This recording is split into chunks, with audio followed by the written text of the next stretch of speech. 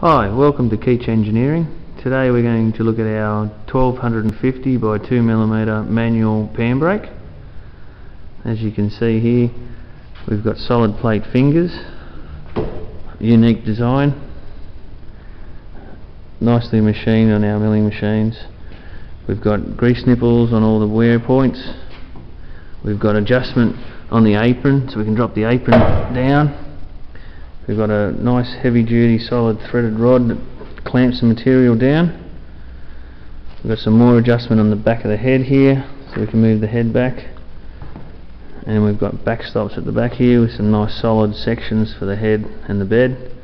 We've got an inch and a half shaft that runs right through and a nice counterweight there to help the operator bend the sheet.